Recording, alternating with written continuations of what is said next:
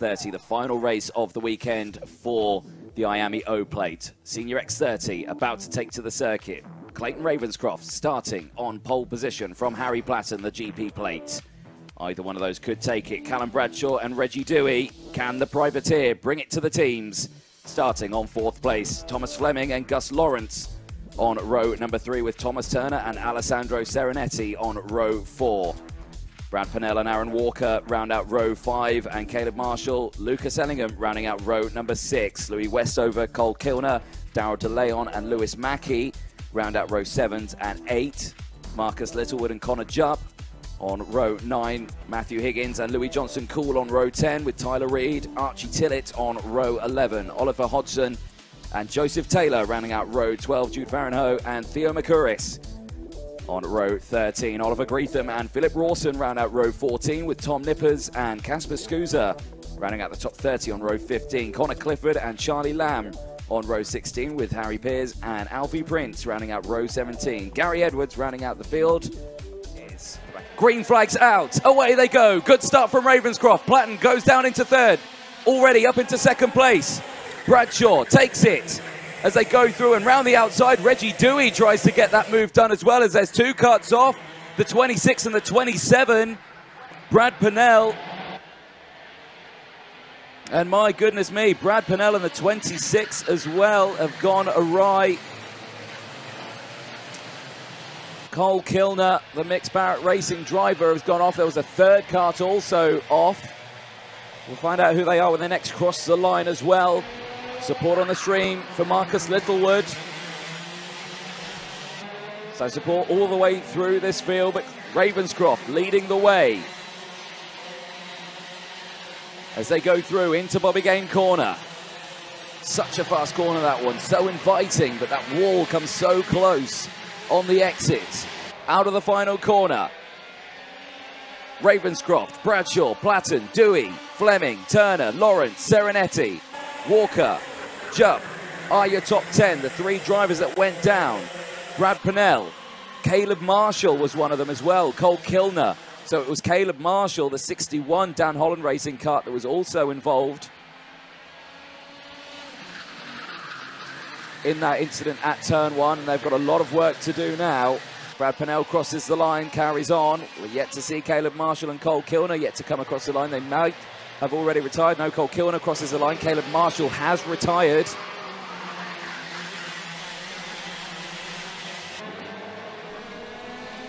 So the 75 of Ravenscroft leads the way. That looks like Reggie Dewey, the 66, that's up into second place. It is. So Dewey has made his way up into sixth place. Curtis says good luck to McCurris. Theo McCurris out there currently. Where's Theo sitting at the moment? Currently in 20th pace as they go through the bridge section. There's a change for the lead. Reggie Dewey to the lead. The privateer driver takes the lead over the bridge and says to Ravenscroft, let's go.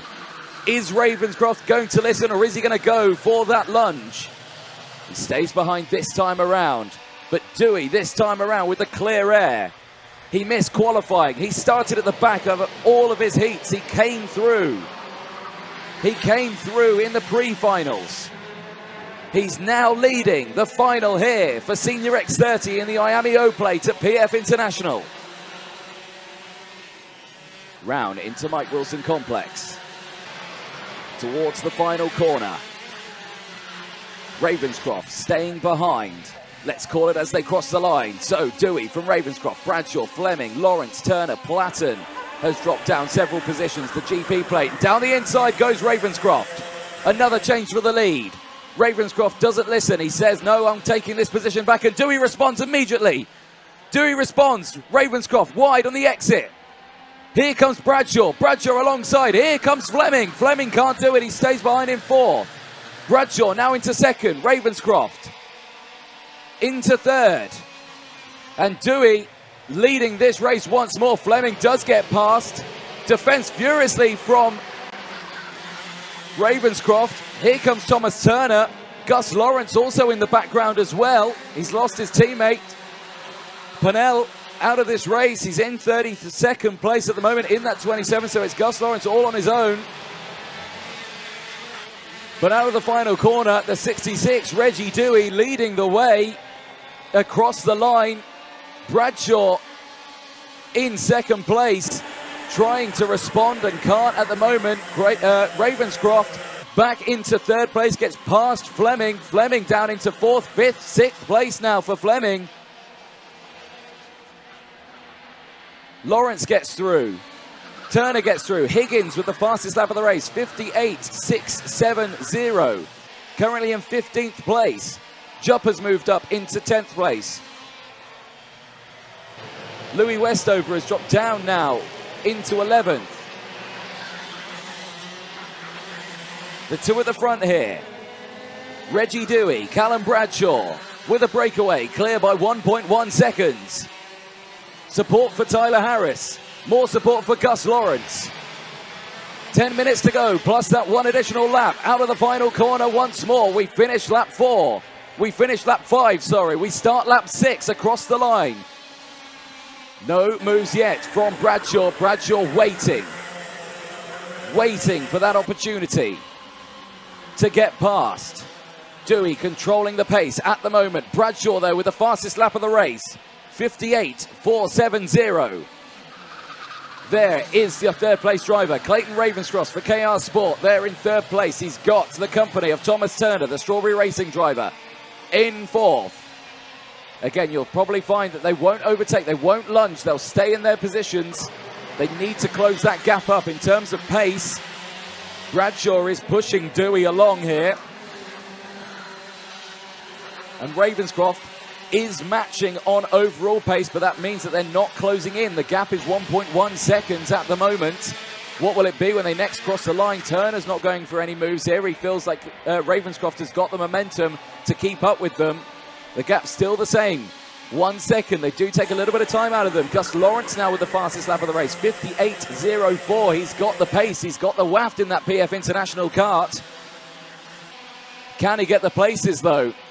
There is confirmation, courtesy of Motorsport Dash Timing, Ian Rogers, and there is the move. There's the move for the lead. Bradshaw, before they even get to the braking zone, Dewey slots in behind, doesn't fight it. And Thomas Turner down the inside. Turner takes third. Ravenscroft down into uh, fourth and says, think, let's go. Over the curb, through the Fullerton S's. Lawrence there. On the number five, the orange helmet, the orange and black kart. The rest of the order, though. So it's Bradshaw, Dewey. Then it's Turner, Ravenscroft, Lawrence, Platten, Walker, Lewis Mackey up eight positions in the 1-2-5. Great running from Lewis. Thomas Fleming is down into ninth place. He has dropped four positions. Alessandro Serenetti has dropped two places, running now in the top 10. Darrell De Leon in 11th place now in the number 14 KR Sport Kart. Action in the background as defensive goes Ravenscroft, who takes back third place. Concertinaing up under braking. Fastest lap that time did go to the GP plate. Harry Platten, the man who started on the front row of the grid, currently sitting in sixth place. With that fastest lap, he's managed to get past Gus Lawrence, so he moves up into fifth place now, does Platten. But they need to try and work together to close that gap, because at the moment, that gap has extended once again. 1.2 seconds, they cross the line. Saying 1.2 seconds, seven minutes to go, plus that one additional lap. There you can see on the outside of the circuit. Caleb Marshall, the 61, out of this race. A big shame. Down the hill they go. A big look over the shoulder there from Bradshaw. He doesn't defend. Dewey doesn't lunge. They can see that they've got the gap. They're continuing to extend that gap. They want that buffer to battle later on in this race.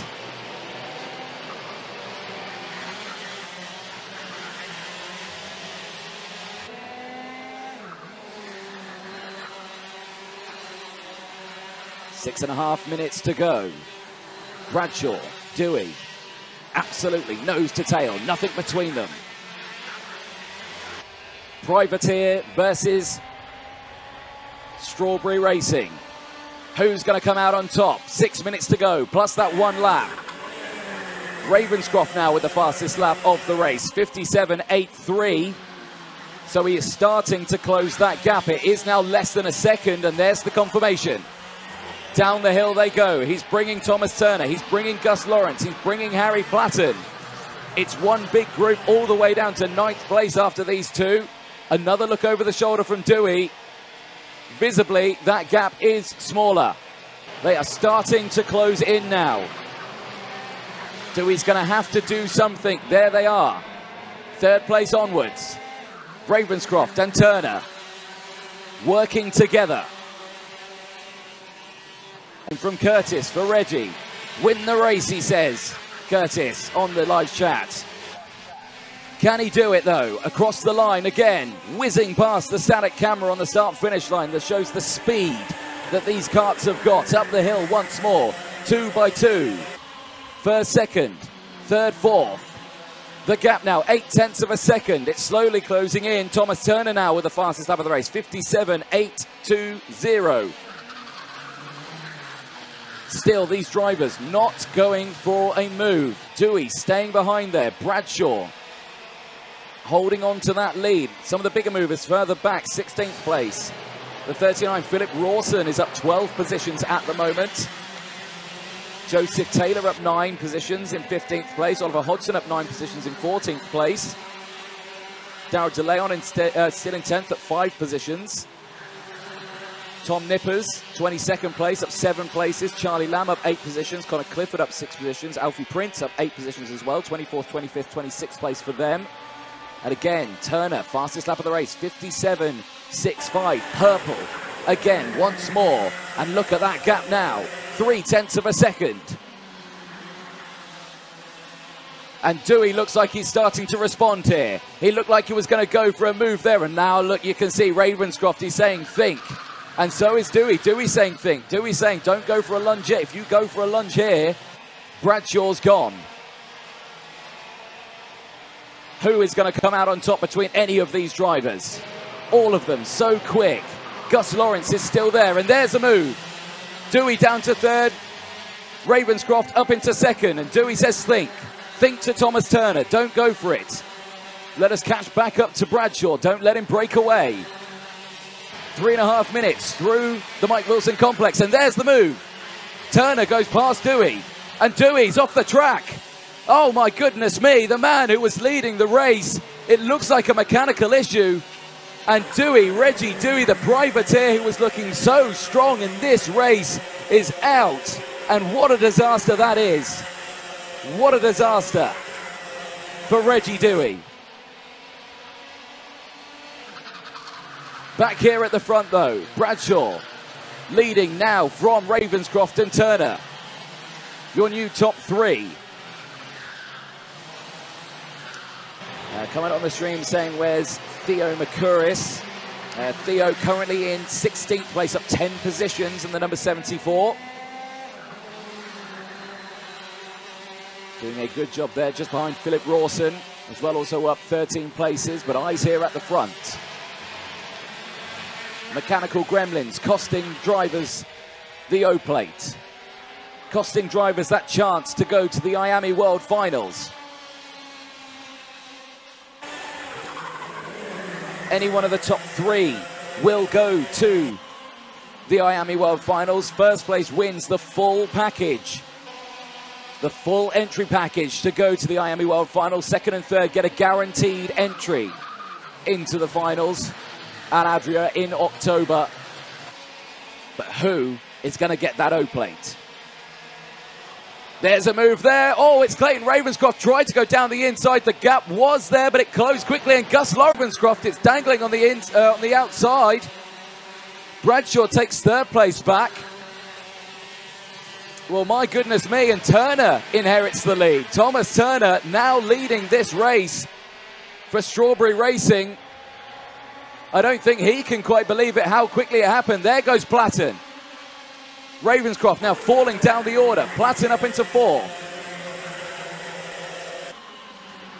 Lewis Mackey also now up in that top five. So there, leading the way now, the number four, Thomas Turner. Second, Gus Lawrence, the number five.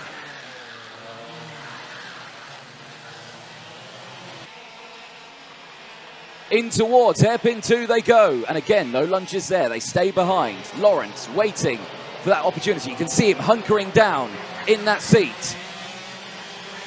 Pushing that kart all the way to the edge. The third place battle still heating up. Bradshaw still there. From Platten. Mackey, the 1-2-5. Lewis Mackey in fifth place. Any one of these top drivers could take it. 20 seconds left on the board. Last lap board will be out this time for the field. Turner leading from Lawrence.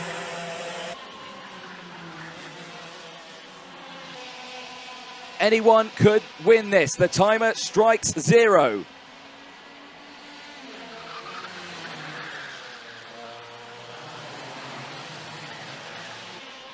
Thomas Turner, our previous O-Plate winner in 2018. Can he replicate that again in 2021? In towards the Fullerton S's for the penultimate time. These two drivers absolutely nose to tail. One more lap to go after this one. Turner from Lawrence. Strawberry Racing versus the PF International team. Last lap board is out. Here we go for Senior X30, race 34 of the weekend for the IAME O Plate and the International Qualifier. Side by side, Lawrence takes to the outside. He's not going to have the optimum line here. He's going to have to slot back into place. He then tries to get the switchback move here. He'll look to the inside as they go down the hill. He can't do it. Defensive goes Turner. Lawrence to the outside, under braking. Can he make the job done? He outbrakes himself slightly, slots back in. Again, side by side. Thomas Turner hugging that inside line all the way, forces him wide. Now, here comes Lawrence. He tries to go down the inside in towards the Fullerton S's. Can't do it. Turner holding on to that one. As he exits out of the Fullerton S's, only a couple of corners to go. Lawrence again, all over the back of him. He's got the inside line. No, he can't do it. He stays behind. There's only one corner to really get this move done, and it doesn't look like it's going to happen. Thomas Turner for Strawberry Racing, the number four. It's the O plate. It's the international qualifier for Thomas Turner for Senior X30 across the line. Gus Lawrence crosses second. Harry Platten, the GP plate, takes third place. And the three entries for the IAME International Qualifiers goes to Thomas Turner, Gus Lawrence and Harry Platten, provisionally of course, until we get through scrutineering. Lewis Mackey take a bow, fourth place as well. 12 positions gained in a Senior X30 final. What a result that is, but there, Thomas Turner, the O-Plate champion, for Senior X30. There's a look at the provisional race results. Ravenscroft finishing in fifth in the end. From Walker, Serenetti. What a finish that is for Serenetti. Seventh place. Bradshaw in eighth. Daryl DeLeon in ninth. Up six positions. Louis Westover in tenth. Oliver Hodgson in 12th place. Matthew Higgins in seventh. Fleming then finished that race in 13th at the end. Tyler Reed finishing in uh, 14th place, up seven positions. Theo McCorris in 15th, up 11. Oliver Greetham, Philip Rawson rounding out the 16th and 17th. And it was Archie Tillett in 18th place. Lucas Ellingham finishing that race in 19th. Connor Clifford, Charlie Lamb. 20th and 21st, Al, uh, Alfie Prince in 22nd, Louis Johnson Cool in 23rd, Tom Nippers in 24th. Gus, can I have a quick chat with you? Thank you, mate. Second place, tucked away, and then uh, at the moment in the race, we was, I think I was in fifth, and then the two in front crashed. I was in second, and that was miles behind, and then it was just a two uh, two man race. Obviously, Thomas uh, won the race on track, but unfortunately got a nose cone due to the incident with Reggie. So, yes, okay, I didn't know that. To win. But, um, Might have our new winner here. Yeah, um, but he won on track, so fair dues to him. But yeah, he did a good job defending, but there you go, penalty. You might have got the win. He's too good to let someone pass. You know what I mean? He's, at this level, it's really hard. So uh, yeah, fair play to him.